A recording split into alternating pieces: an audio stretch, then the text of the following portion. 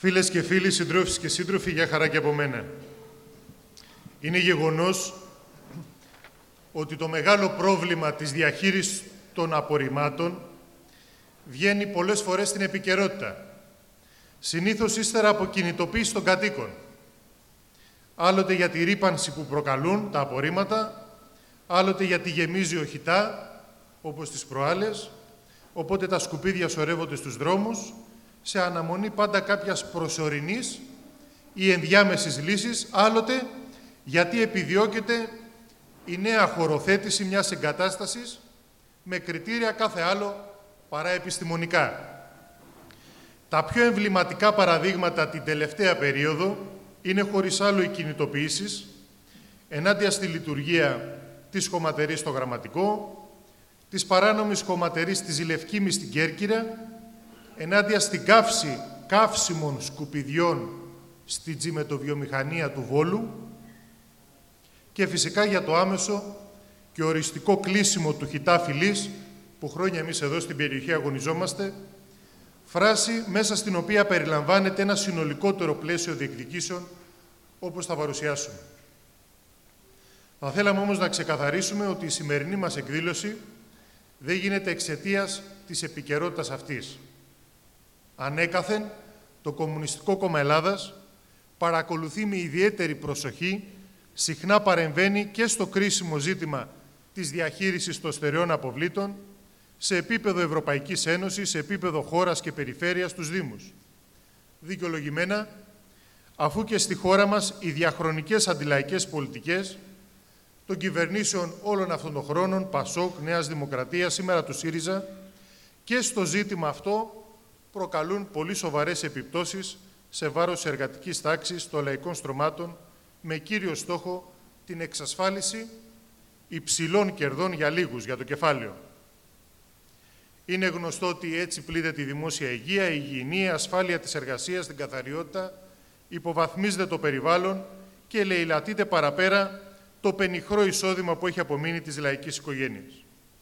Ταυτόχρονα, η διαχείριση των απορριμμάτων χρησιμοποιήθηκε για πάρα πολλά χρόνια από την αστική τάξη της χώρας μας και συνεχίζει να το κάνει ως προνομιακός χώρος προκειμένου να προωθήσει την αντεργατική της επίθεση για την πλήρη διάλυση των εργασιακών κατακτήσεων και δικαιωμάτων των εργαζομένων που τα τελευταία χρόνια παίρνει σαρωτικό και γενικευμένο χαρακτήρα. Οι κάτοικοι όλων αυτών των περιοχών δυστυχώς συνειδητοποιούν το κακό που τους βρήκε όταν το πρόβλημα έχει οξυνθεί, όταν έχει φτάσει στο μη παρέκει, όταν αρχίζει και αφήνει πίσω του θύματα. Την τελευταία ειδικότερα δεκαετία, ο τομέας των στερεών αποβλήτων, πέρα από πεδίο άντλησης υψηλών κερδών για τους κατασκευαστικούς ομίλους, έχει αναδειχθεί και σε σημαντικό παράγοντα υποβοήθησης της προσπάθειας των οργάνων της Ευρωπαϊκής Ένωσης για τη μείωση της εξάρτησης της καπιταλιστικής οικονομίας από εξωτερικές πηγές ενέργεια και πρώτες ύλες.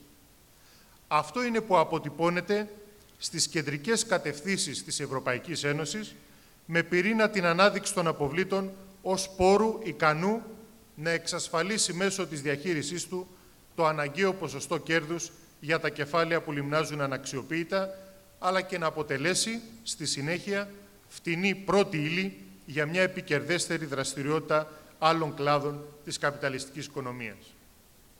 Με τη διαδικασία αυτή που περιγράψαμε, το κόστος για να καταστούν τα, τα σκουπίδια χρυσός για λίγους, γιατί ακούτε που λένε ότι τα σκουπίδια είναι χρυσός, χρυσός όμως για ποιους, για να καταστούν τα σκουπίδια χρυσός, φτηνή δηλαδή για το κεφάλαιο πρώτη ύλη ή καύσιμο, φορτώνεται άμεσα στις πλάτες των εργαζομένων με μια σειρά οικονομικά εργαλεία. Σε αυτά τα εργαλεία περιλαμβάνονται ορισμένες αρχές, όπως οι ίδιοι τις ονομάζουν, τις οποίες ίσως να τις έχετε ακούσει.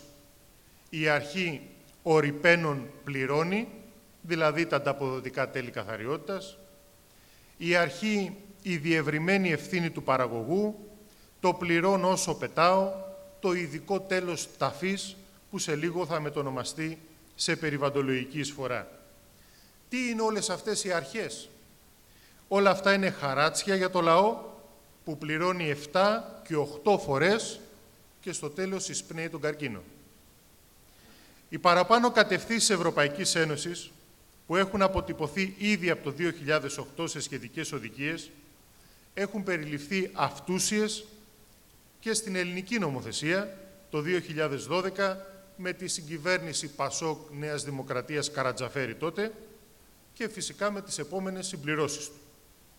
Στη συνέχεια, όλα αυτά ενσωματώθηκαν με θρησκευτική ευλάβεια από το ΣΥΡΙΖΑ στον περίφημο Εθνικό Σχεδιασμό Διαχείρισης Αποβλήτων, τον ΕΣΔΑ, το Δεκέμβρη του 2015. Επειδή έλεγαν 25 ψηφίζεις, 26 φεύγουν, η ελπίδα έρχεται, πήραν όλα τα προηγούμενα και το ενσωμάτωσαν στην ελληνική νομοθεσία. Η ιδιαίτερη βαρύτητα αυτού του σχεδιασμού έγκυται στο γεγονός ότι οι αντιλαϊκές κατευθύνσεις και οι επιμέρους στόχοι του ενσωματώθηκαν και στα περιφερειακά σχέδια διαχείρισης αποβλήτων, τα περιβόητα πέσδα, ανάμεσά τους και σε αυτόν τον περιφερειακό σχεδιασμό για την Αττική, το ΠΕΣΔΑ Αττικής. Αυτό έγινε και με τη σύμφωνη γνώμη των περιφερειακών αρχών, των προηγούμενων και των σημερινών, ανεξάρτητα της κομματικής τους τοποθέτησης και την υποστήριξη των αντίστοιχων δημοτικών αρχών, όπως η Δημοτική Αρχή, που είμαστε σήμερα στο Δημαρχείο των Άνω Λιωσίων, η Δημοτική Αρχή του σημερινού Δημάρχου, αλλά και των προηγούμενων. Και βρίσκοντας πάντα απέναντί τους τις λίγες δυνάμεις, αλλά αποφασιστικές και μαχητικές, τις δυνάμεις των κομμουνιστών περιφερειακών συμβούλων, τις δυνάμεις των δημοτικών συμβούλων με τη λαϊκή συσπήρωση σε όλους τους Δήμους, αλλά και στην περιφέρεια. Με βάση τον παραπάνω σχεδιασμό, ο ΣΥΡΙΖΑ προχώρησε σε παρεμβάσεις και πάγωσε άλλες με ένα και μόνο κριτήριο, τα συμφέροντα του κεφαλαίου. Αναφέρουμε τις πιο χαρακτηριστικές από αυτές. Η πιο μεγάλη απάτη του ΣΥΡΙΖΑ έχει να κάνει με τις συμπράξεις δημόσιου και ιδιωτικού τομέα, τις περιβόητες ΣΔΙΤ. Με αυτές, ο ενδιαφερόμενος μονοπωλιακός όμιλος αναλαμβάνει μέσω της προσφοράς του στη διαγωνιστική διαδικασία την εν λευκό τροποποίηση και υλοποίηση του όποιου γενικότερου σχεδιασμού ή της επιμέρους εγκατάστασης και καθορίζει την τιμή ανατόνο σκουπιδιού που δέχεται σε εγκαταστάσεις του για 25 και πάνω χρόνια λειτουργίας. Στο κόστος κατασκευής συμμετέχει το δημόσιο, δηλαδή οι εργαζόμενοι με τη φορολογία, το τραπεζικό κεφάλαιο και ο επιχειρηματικός όμιλος, με τους δύο τελευταίους να επιδιώκουν αποκλειστικά τη μεγαλύτερη δυνατή κερδοφορία, δηλαδή να παίρνουν όλα αυτά που πληρώνουμε εμείς. Φυσικά η μεγάλη χαμένη της υπόθεσης όλη αυτή την ιστορία δεν μπορεί να είναι παρά το περιβάλλον, η δημόσια υγεία, οι εργαζόμενοι σε εγκαταστάσεις αυτές, το πενιχρό λαϊκό εισόδημα.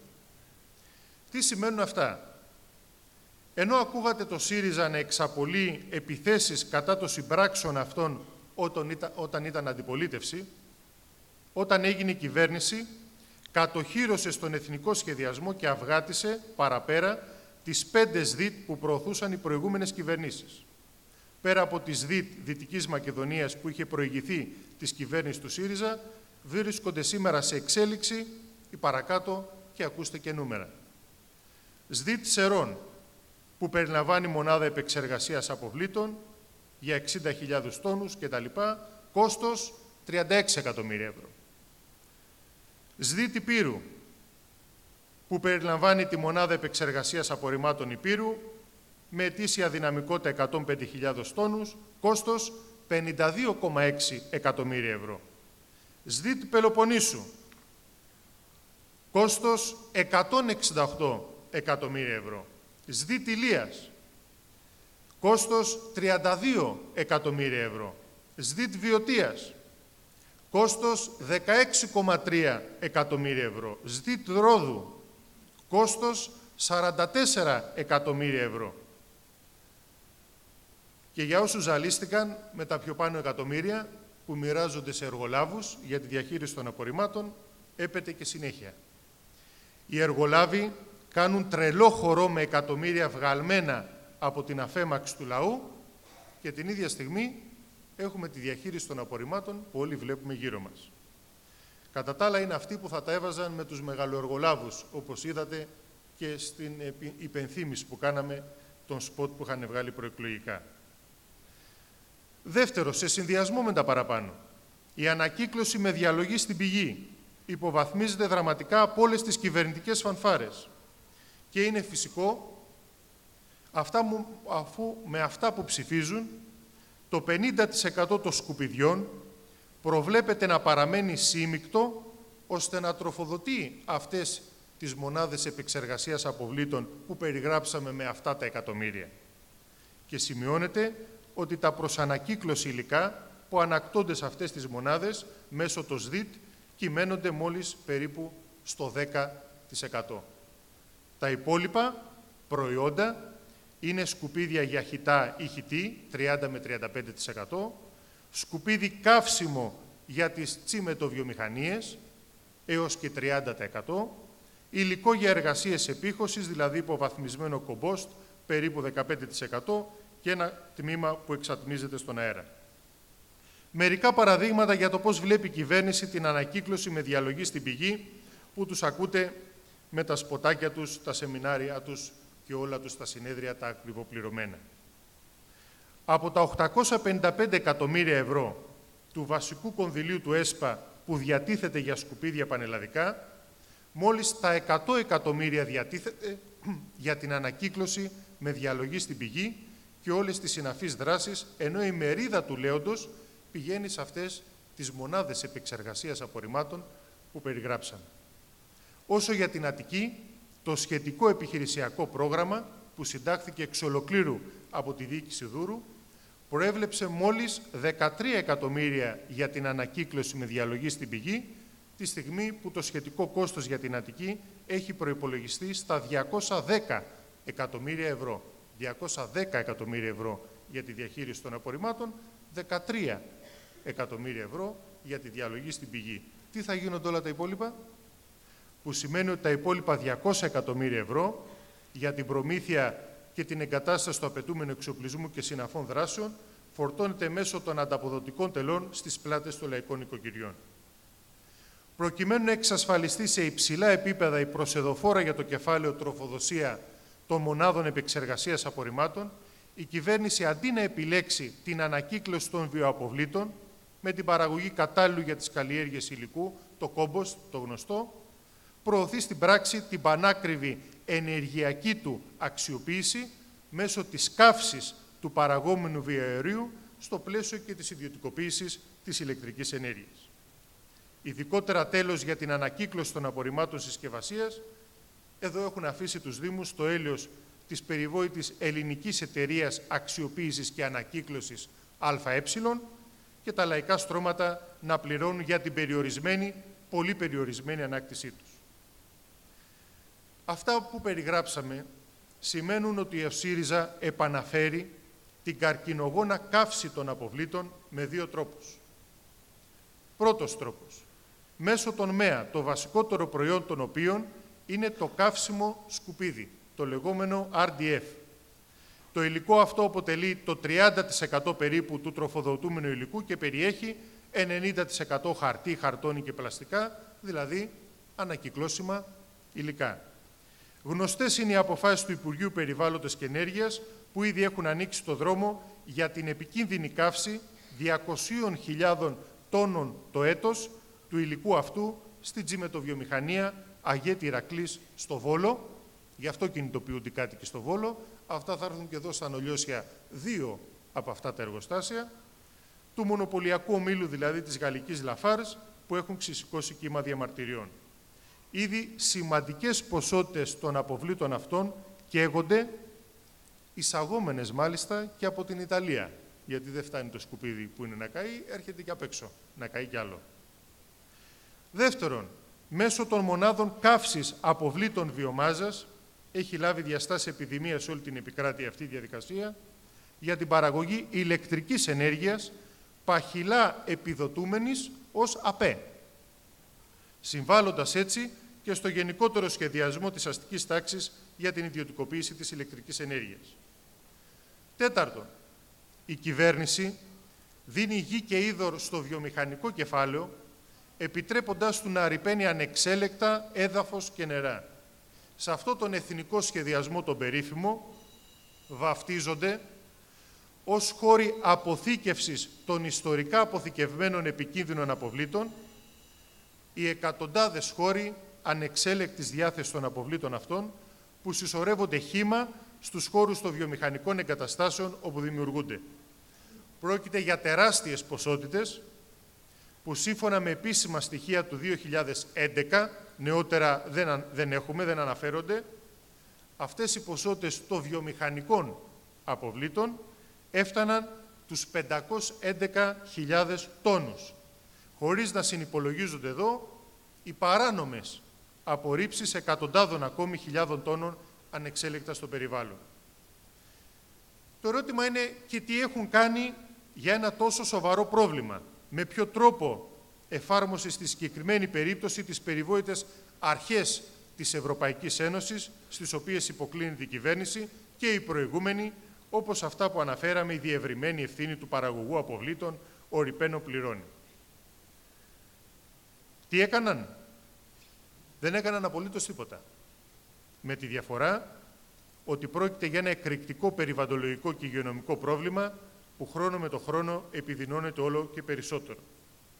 Πέμπτον, βάθυναν ακόμα παραπέρα τις ιδιωτικοποίησεις. Υιοθέτησαν τελικά την πιο αντιλαϊκή εκδοχή σε σχέση με το μέλλον των φορέων διαχείρισης στερεών αποβλήτων, των περιβόητων φόδστα, που είναι σύνδεσμοι των Δήμων, δηλαδή νομικά πρόσωπα δημοσίου δικαίου.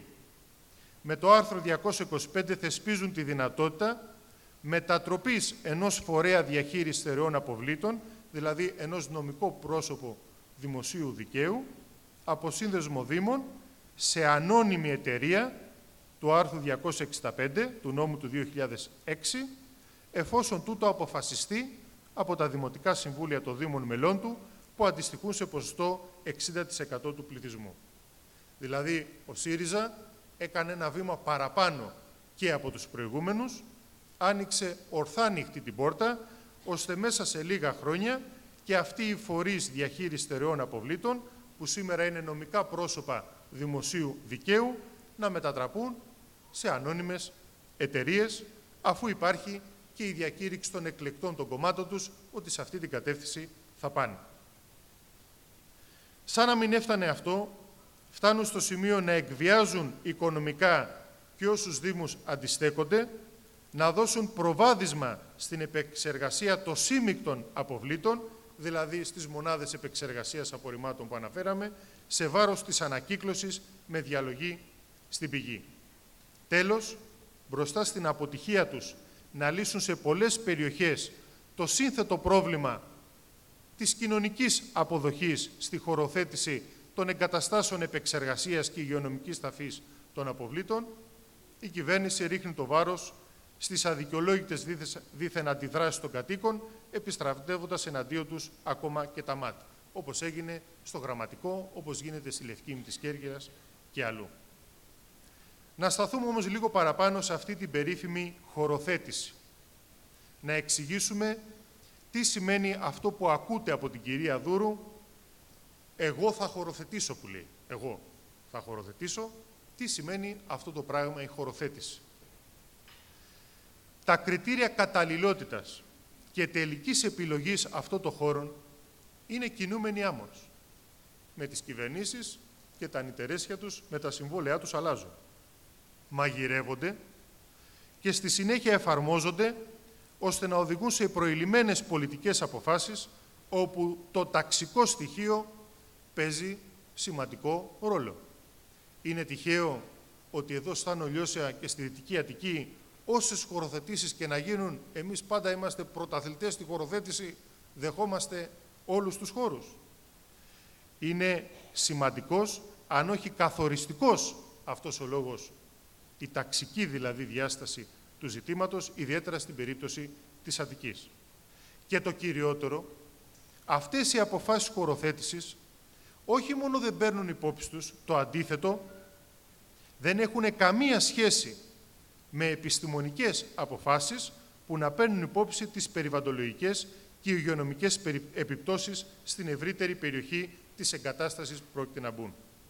Η υπάρχουσα εμπειρία για παρόμοιες εγκαταστάσεις, για χιτά, δεματοποιητές, κδάη, τοπικούς σταθμούς μεταφόρτωσης απορριμμάτων, αποτελεί χαρακτηριστικό δείγμα γραφής για τον περιβαλλοντολογικό αντίκτυπο όμοιων ή και διαφορετικών μονάδων επεξεργασίας αποβλήτων.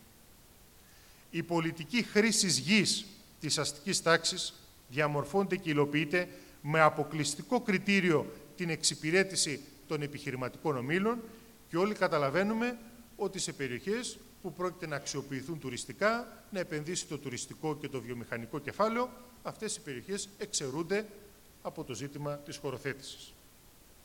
Απέναντι σε αυτό το πρόβλημα, τι αξιοποίησε και η κυβέρνηση ΣΥΡΙΖΑ, όπως αξιοποίησαν και οι προηγούμενοι. Το χρηματισμό. Καθαρά και εξάστερα. Το χρηματισμό και πάνω και κάτω από το τραπέζι.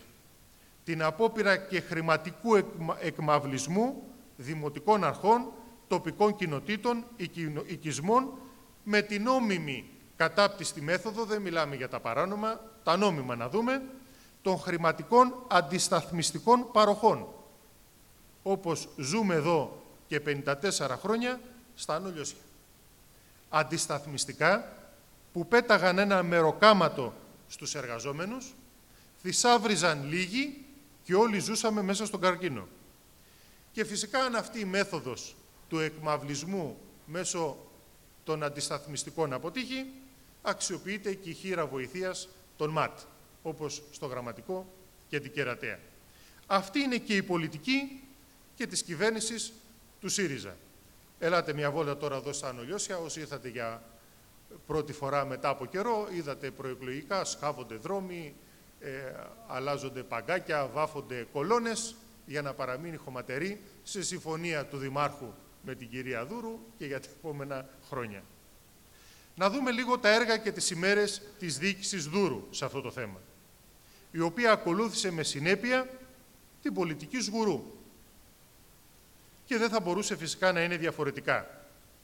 Το θέμα είναι ότι ακολουθεί και την ίδια τακτική αυτή της εξαπάτησης και τα παραδείγματα είναι πάμπολα, ας αρκεστούμε σε μερικά από αυτά. Πρώτο, το εμβληματικότερο όλων, οι κατηγορηματικές διαβεβαιώσεις της ότι η πρώτη, ότι πρώτη της δουλειά ως περιφερειάρχης θα είναι το οριστικό κλείσιμο της χωματερής, τώρα κάνει πως δεν ξέρει. Και μάλιστα αναφέρει ότι εγώ, εγώ ουδέποτε είχα δεσμευθεί ότι με την εκλογή μου θα κλείσει ο χιτά φιλής. Όλοι θυμόμαστε την ορκομοσία στο κλειστό γυμναστήριο των Ανολιωσίων. Για το εργοστάσιο μηχανικής ανακύκλωσης και κοποστοποίησης, εδώ στα Ανολιώσια, την ΕΜΑΚ, βασική συνιστόσα της ολοκληρωμένης εγκατάστασης διαχείρισης απορριμμάτων στη φυλή, μαζί με το ΧΙΤΑ. Ας θυμηθούμε τι έλεγαν λίγο μετά την ανάληψη των καθηκόντων τους. Έλεγαν προτεραιότητα πρώτη, οι ίδιοι το υπογράμμιζαν. Χρειάζεται η σταδιακή μεταφορά δραστηριοτήτων της ΟΕΔΑ φυλής ή και των εγκαταστάσεών της, καθώς και το οριστικό κλείσιμό της στο πλαίσιο ενός συγκεκριμένου και αυστηρού χρονοδιαγράμματος. Μάλιστα, στις 2 Οκτώβρη του 2014 είχε στείλει και επιστολή η κυρία Δούρου με αυτό το περιεχόμενο προς τους δημάρχους και όλα τα δημοτικά συμβούλια. Ύστερα από 4,5 χρόνια, η ΟΕΔΑ Φιλής παραμένει στη θέση της, ενισχυμένη μάλιστα και διονύζεται. Και με το ΕΜΑΚ να αυξάνει την ετήσια παραγωγική δυναμικότητά του στους 400.000 τόνους από 256.000 τόνους το 2017 και το χιτά να μετατοπίζεται σύμφωνα πάντα με τους σχεδιασμούς της κυρίας Δούρου, τους σχεδιασμούς του ΣΥΡΙΖΑ επί το ακριβέστερο, μερικές εκατοντάδες μέτρα παραδίπλα στο λατομείο Μουσαμά, στην πλάτη του Θεάτρου Πέτρας. Το ίδιο έκαναν και για το χιτά γραμματικού. Αποορκισμένος εχθρός του εγκληματικού αυτού έργου έγινε θερμός υποστηρικτής του. Δεν κουράστηκε να τροφοδοτεί με πακτολό χρημάτων το κατασκευαστικό όμιλο του Χιτά, εκτινάσοντας την αρχική σύμβαση από τα 19 εκατομμύρια ευρώ σε 33,34 εκατομμύρια ευρώ. Οι αναθεωρήσεις υπέρ των εργολάβων αυξήθηκαν κατά 3.000% όταν το ίδιο διάστημα, σύμφωνα πάντα με τα επίσημα στοιχεία, ο γενικός δείκτης τιμών καταναλωτή αυξήθηκε κατά 22%. Έχουμε κάνει και ερώτηση στη Βουλή για αυτό το θέμα, η οποία φυσικά ανάμεσα και σε άλλες δεν είχε απαντηθεί ποτέ. Ταυτόχρονα δεν δίστασε να καταστρέψει για δώρο όμως πρόσβασης στην αντίστοιχη κομματερή που ετοιμάζεται για το γραμματικό και 100 στρέμματα πευκόφυτων εκτάσεων. Δήλωνα προεκλογικά ότι θα υπεραμεινθούν του δημόσιου χαρακτήρα της διαχείρισης των αποβλήτων στην Αττική. Και το ίδιο έκαναν και στην πρώτη περίοδο της διοίκησής τους, φέροντας μάλιστα για παράδειγμα ότι έβαλαν φρένο στις ΔΙΤ που προωθούσε ο προκάτοχός τους ο Σγουρός. Τι έκαναν όμως στην πράξη, επί των ημερών τους, η ιδιωτικοποίηση των εγκαταστάσεων του ΕΤΣΝΑ ενισχύθηκαν παραπέρα, με πιο χαρακτηριστικό παράδειγμα, τον αποτεφρωτήρα που λειτουργεί και αυτός εδώ στα Ανολιώσια, που τον παρέδωσαν ελευκό στον όμιλο που το λειτουργούσε, με την ίδια ακριβώς διαδικασία που εκμισθώνει ένας Δήμος ένα κηλικείο. Όσα υπόσχονταν προεκλογικά στους κατοίκους του Γραμματικού των Άνω Λιωσίων, αποδείχτηκαν σκέτη απάτη, φτάνοντας στο σημείο να φέρνουν και τα ΜΑΤ σε κρίσιμες συνεδριάσεις του Περιφερειακού Συμβουλίου, στο οποίο, δίκαια διαμαρτύρονταν οι κάτοικοι και παρευρίσκονταν μετά από αίτημα της Λαϊκής Σπήρωσης για να συζητηθεί το θέμα. Στις αρχές της θητείας τους, υπό την πίεση και της Λαϊκής Συσπήρωσης, υποχρεώθηκαν να δεχθούν το αίτημα των μαζικών φορέων της περιοχής και του Δήμου Πετρούπολης για την εκπόνηση επιδημιολογικής μελέτης στην περιοχή. Να ξέρουμε τι γίνεται. Το μόνο που γνωρίζουμε είναι ότι υπάρχει μια έρευνα της Ελστάτ, εμπειρική έρευνα της Ελστάτ, με, την, με το αιτιολογικό θανάτων για τις προηγούμενες δεκαετίες που φανερώνει ότι η αύξηση θανάτων από νεοπλασίες έχουν φτάσει στο 31% την ίδια στιγμή στην υπόλοιπη Αττική δεν ξεπερνούν το 10%. Χρειάστηκαν τρία ολόκληρα χρόνια για να αρχίσει η εκπόνηση μιας τέτοιας επιδημιολογικής μελέτης με άγνωστο ακόμη το χρόνο ολοκλήρωσής της. Και τι κάνουν τώρα, τι σχεδιάζουν τώρα, τι σημαίνει ψηφίζω δούρου, σγουρό, πατούλι, αυτό πρέπει να το ξέρουν οι κάτοικοι των Άνω Λιωσίων, σημαίνει επέκταση της φυλής, της κομματερής, εργοστάσια καύσης στην περιοχή, σημαίνει ότι ακόμα και το ανενεργό λατομείο Μουσαμά στην πλάτη του Θεάτρου Πέτρας τον έχουν επιλέξει ως τον επικρατέστερο χώρο για το μεγαλύτερο και με διαφορά χιτά της Αττικής. Χιτή, χιτά της Αττικής.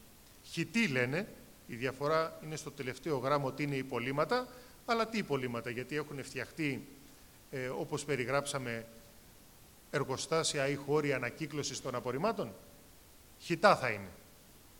Παράλληλα συνεχίζουν ασταμάτητα τη βιομηχανία θετικών γνωμοδοτήσεων στο Περιφερειακό Συμβούλιο για τη δημιουργία και νέων και την επέκταση καινούριων εγκαταστάσεων επεξεργασίας επικίνδυνων αποβλήτων στο θριάσιο, κυρίως στον ασπρόπυργο, όλων των ειδών της διαχείρισης αποβλήτων, άχρηστων αυτοκινήτων, συσσωρευτών, ψυγείων, μπαταριών, τα πάντα. Υπάρχει μια βιομηχανία έγκρισης τέτοιου είδους εγκαταστάσεων. Σκεφτείτε ότι ακόμα οι συνέπειες από αυτό το κέντρο ανακύκλωσης στον Ασπρόπυργο που πήρε φωτιά την ιδιωτική επιχείρηση που πήρε φωτιά τον Ιούνιο του 2015, οι συνέπειες παραμένουν ακόμα και σήμερα.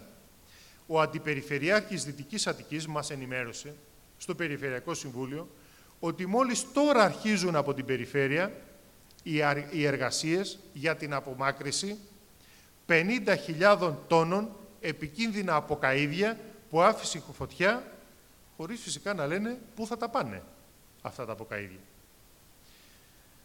Φίλες και φίλοι, το 2014 οι εργαζόμενοι της περιοχής μας, οι εργαζόμενοι συνολικά της Αττικής, καταψήφισαν την πολιτική του Πασόκ και Νέας Δημοκρατίας στη διαχείριση των απορριμμάτων και ψήφισαν ΣΥΡΙΖΑ για να τιμωρήσουν αυτή την πολιτική και όχι μόνο δεν τιμωρήθηκε αυτή η πολιτική, αλλά την είδα να ξαναέρχεται από την πίσω πόρτα με τα ίδια ακριβώς σχέδια, με τους ίδιους ακριβώς εργολάβους και με τα ίδια πρόσωπα να την εφαρμόζουν στις υπουργικές καρέκλες. Απέναντι σε αυτή την πολιτική της αστικής τάξης, το Κομμουνιστικό Κόμμα Ελλάδας προβάλλει ένα ριζοσπαστικό πλαίσιο ετοιμάτων για άμεση διεκδίκηση και πάλι με προμετωπίδα ποιος θα διαχειριστεί τα απορρίμματα, με ποιο τρόπο θα γίνει η διαχείριση των υπαρουμάτων και για το όφελος πιανού θα γίνει αυτή η διαχείριση. Γι' αυτό και επιμένουμε και εναντιονόμαστε στην εμπορευματοποίηση της διαχείρισης των απορριμμάτων και σε κάθε μορφή ιδιωτικοποίησης που συνεπάγεται αυτή. Γι' αυτό και προβάλλουμε το σταθερό μαχητικό αίτημα ενάντια στις συμπράξεις δημόσιου ιδιωτικού τομέα και στις συμβάσεις παραχώρησης. Λέμε όχι στη μετατόπιση των βαρών στις πλάτες των λαϊκών στρωμάτων μέσα από τα ανταποδοτικά τέλη και με οποιοδήποτε άλλο τρόπο όπως το χαράτσι ταφής και το περιβόητο πληρώνω όσο πετάω. Το κόστος των προγραμμάτων, του εξοπλισμού και έργων για την ορθολογική διαχείριση των αποβλήτων πρέπει να προέρχονται από κεντρικούς δημόσιους πόρους και από μια μεγαλύτερη φορολόγηση του κεφαλαίου. Οι εργαζόμενοι αρκετά πλήρωσαν. Παλεύουμε για την απόλυτη διασφάλιση όλων των εργαζομένων σε δημόσιους φορείς διαχείρισης των αποβλήτων, χωρίς όρους και προϋποθέσεις, με πλήρη εργασιακά δικαιώματα. Το πλαίσιο πάλις που προβάλλει το Κομμουνιστικό Κόμμα Ελλάδας περιλαμβάνει τους παρακάτω άξονες. Πρώτον, τον καθορισμό και την ιεράρχηση των προτεραιοτήτων. Τέτοιες είναι η πρόληψη της παραγωγής απορριμμάτων, η προώθηση της ανακύκλωσης με διαλογή στην πηγή, σε χωριστά ρεύματα των συσκευασιών, των μετάλλων, του έντυπου χαρτιού, καθώς και του οργανικού κλάσματος, των βιοαποβλήτων, όπως λέμε, με κομποστοποίηση. Το μέρος των αποβλήτων που δεν υπόκειται σε επεξεργασία, καθώς και τα υπολείμματα των μονάδων επεξεργασίας να οδηγούνται σε χώρους υγειονομικής ταφής αποβλήτων με επιστημονικά και ορθολογικά κριτήρια καθορισμένους. Δεύτερον, καθορισμός σύγχρονων όρων για την ορθολογική και ασφαλή αποκομιδή, δηλαδή τη συλλογή και μεταφορά των απορριμμάτων από τις υπηρεσίες του κάθε Δήμου με μόνιμο προσωπικό, σύγχρονο εξοπλισμό καθώς και με τις απαραίτητες υποδομές για τη χωριστή συλλογή των προδιαλεγμένων με διαλογή στην πηγή απορριμμάτων. Να εξετάζεται κάθε φορά με συνδυασμένα κριτήρια η αναγκαιότητα της κατασκευής σταθμός, σταθμών μεταφόρτωσης απορριμμάτων των περιβόητων ΣΜΑ. Τρίτον, ειδική μέρημνα στους χώρους ανεξέλεκτης διάθεσης των αποβλήτων για την ουσιαστική αποκατάσταση όλων και όχι την απλή επιχωμάτωση με βάση, συγκεκριμένο χρονοδιάγραμμα έργων που θα τηρείται και χρηματοδότηση από κεντρικούς δημόσιους πόρους. Τέταρτον, τον καθορισμό των κριτηρίων καταλληλότητας σε κάθε περιφέρεια αναείδος εγκατάστασης με γνωστά από πριν κριτήρια αποκλεισμού των υποψήφιων χώρων. Καθορισμός των κριτηρίων αξιολόγησης αναείδος εγκατάστασης για τη βαθμολόγηση των υποψήφιων χώρων με σαφή και δεσμευτικό οδηγό της βαθμολόγησης που αντιστοιχεί στο κάθε κριτήριο. Να μην μπορεί δηλαδή ο καθένας με βάση την πολιτική χρήση γης της αστικής τάξης να καθορίζει πού θα πάει ένας τέτοιος χώρος υγειονομικής ταφής υπολοιμάτων και στο τέλος να φορτώνονται όλοι με ταξικό κριτήριο στις πιο υποβαθμισμένες συνοικίες της Αττικής. Οι αντισταθμιστικές παροχές για τους οικισμούς και τους δήμους από τη λειτουργία αυτών των μονάδων επεξεργασίας και διάθεσης είναι εντελώς διαφορετικές από αυτό το αποκρουστικό μοντέλο που ζούμε της ομοιρίας τύπου φυλής ανολιοσίων. Εμείς λέμε ότι αυτά τα αντισταθμιστικά πρέπει να είναι προσανατολισμένα σε κρατικές παρεμβάσεις πρόσθετης προστασίας της υγείας των κατοίκων και του περιβάλλοντος. Τι σημαίνει αυτό; Σημαίνει ότι στα Νολιώσια δεν υπάρχει όχι μόνο νοσοκομείο, δεν υπάρχει ούτε ένα κέντρο υγείας. Δεν υπάρχει. Και κατά τα άλλα μιλάνε για αντισταθμιστικά. Τα αντισταθμιστικά που δίνανε πήγαιναν στις τσέπες λίγων, φτιάχναν και καναπαρτέρι και ενώ ζούσαμε μέσα στο σκουπίδι και ενώ ζούσαμε μέσα στις λάσπες και χωρίς δρόμους, ήμασταν μια γειτονιά που καμαρώναμε που όλες οι ποδοσφαιρικές και μπασκετικές μας ομάδες παίζανε στην Α Εθνική για να κονομάνε η νονή της νύχτας, οι μπράβοι και οι εργολάβοι των σκουπιδιών. Εμείς είμαστε αντίθετοι σε αυτού του είδους τα αντισταθμιστικά, τα οποία είναι χρηματισμός δημάρχων και δημοτών και εργαζομένων για να κλείνουν το στόμα στον καρκίνο. Και φυσικά μέτρα χωροταξικής και περιβαλλοντολογικής αναβάθμισης αυτών των περιοχών πριν και αμέσως μετά τη διαχείριση των απορριμμάτων και την αξιοποίηση. Πέμπτον, η υλοποίηση των έργων επεξεργασίας και τελικής διάθεσης των αποβλήτων να γίνεται από τον κρατικό φορέα για τα δημόσια έργα.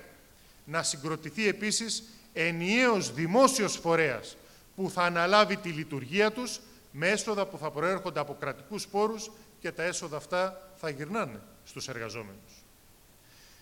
Έκτο, σημαντική μέρημνα πρέπει να δίνεται στην ολοκληρωμένη διαχείριση των επικίνδυνων αποβλήτων, ιδιαίτερα των βιομηχανικών, λόγω της ποσότητάς τους, είδατε τι είπαμε, 511.000 τόνοι είναι τα απόβλητα δεξιά και αριστερά τα βιομηχανικά. Και φυσικά και εξαιτίας της διαπιστωμένης ασυδοσίας των παραγωγών τους, δηλαδή των βιομηχάνων. Το κεφάλαιο να καλύπτει το σύνολο του κόστους για τις μελέτες, την υλοποίηση και τη λειτουργία σύμφωνα με τα παραπάνω των σχετικών έργων.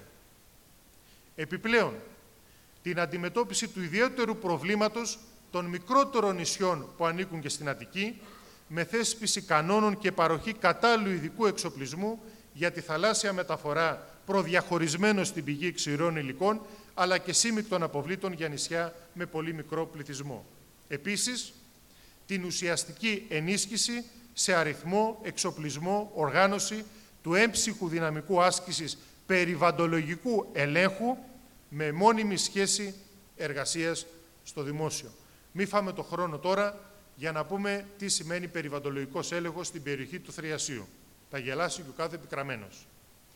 Στο πλαίσιο αυτό, σταθερές παραμένουν και οι θέσεις που προβάλλει το Κομμουνιστικό Κόμμα Ελλάδας ως στόχους διεκδίκησης και πάλης για τη διαχείριση των απορριμμάτων της Αττικής. Τις παρουσιάζουμε εδώ συνοπτικά, όπως ακριβώς τις είχαμε διατυπώσει και το 2014 στην απαντητική επιστολή του τμήματος της Κεντρικής Επιτροπής του Κομμουνιστικού Κόμματος Ελλάδας στον προηγούμενο Περιφερειάρχη τότε, το Σγουρό, που επισημέναμε ειδικότερα για την Αττική της θέσης μας, να σταματήσει κάθε διαδικασία για την ανάθεση της κατασκευής και λειτουργίας των τεσσάρων μονάδων επεξεργασίας σύμικτων απορριμμάτων που στηρίζεται στον ισχύοντα Περιφερειακό Σχεδιασμό Διαχείρισης Αποβλήτων της Αττικής. Να κλείσει άμεσα και οριστικά ο χιτά φυλής να μετικατασταθεί σε κατάλληλη και εκτός θριασίου θέση ο αποτεφρωτήρας των πολισματικών, να αρχίσει άμεσα η απορρίπανση και η περιβαντολογική αποκατάσταση της ευρύτερης περιοχής. Να εκπονηθεί πλήρης επιδημιολογική μελέτη που θα περιλαμβάνει τους κατοίκους και τους μόνιμους εργαζόμενους στη ζώνη επιρροής του ΕΔΑ φυλής. Να απαγορευτεί κάθε νέα δραστηριότητα διαχείρισης των αποβλήτων στην περιοχή αυτή και οι νέες χωροθετήσεις, παίρνοντας υπόψη την ομολογημένη πλέον ακαταλληλότητα της θέσης στην Κερατέα και την προφενή ακαταλληλότητα στο γραμματικό, να αναζητηθούν και εκτός του Θριασίου, χωρίς τον αποκλεισμό και εκτός Αττικής περιοχών, στο πλαίσιο μιας δίκαιης διαπεριφερειακής συνεργασίας και με ευθύνη της κυβέρνησης. Να δημοσιοποιηθούν τώρα εν ώψη και του επικείμενου υπερκορισμού του χιτά φυλής, τα σχέδια της κυβέρνησης και της διοίκησης του ΕΔΣΝΑ σε σχέση με τη χωροθέτηση του μελλοντικού χιτά, που μέχρι σήμερα κρατούνται επτασφράγιστο μυστικό. Και στο μεταξύ να προωθηθούν άμεσα δράση, δράσεις ήπιας ανακύκλωσης με διαλογή στην πηγή, στην Αττική και γενικότερα. Το γεγονός ότι όλα τα παραπάνω ζητούμενα ένα προς ένα όπως τα ακούσατε. Παραμένουν απολύτως επίκαιρα και σήμερα, ύστερα από πέντε χρόνια.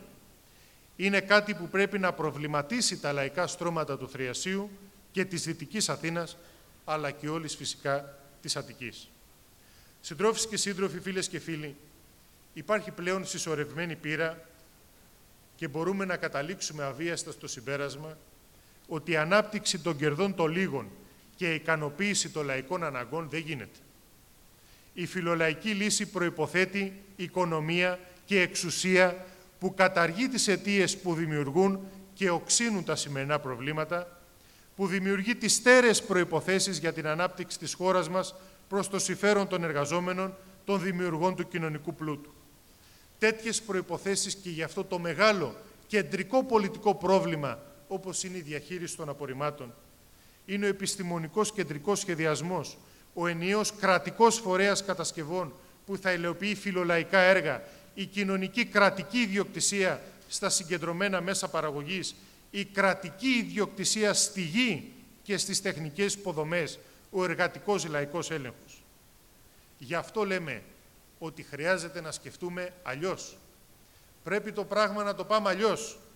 Και εμείς λέμε ότι υπάρχει ελπίδα, η ελπίδα είναι εδώ, ο δρόμος είναι εδώ. Χώρος και χρόνος για αναμονή, για αυταπάτες, για μεσίες δεν υπάρχει. Με τη λογική που ακούμε, ότι αυτά που λέτε δεν γίνεται, να δούμε κάτι εφικτό μέσα στα τείχη της Ευρωπαϊκής Ένωσης και τους νόμους των κυβερνήσεων, φτάσαμε να έχουμε 54 και 60 χρόνια το έσχος της χωματερής των άλλων Ιωσίων και συνεχώς να επεκτείνεται μέσα στη μούρη μας. Γι' αυτό και έχει έρθει η ώρα να κάνουμε πιο δυνατό σε όλες τις κάλπες το Κομμουνιστικό Κόμμα Ελλάδας.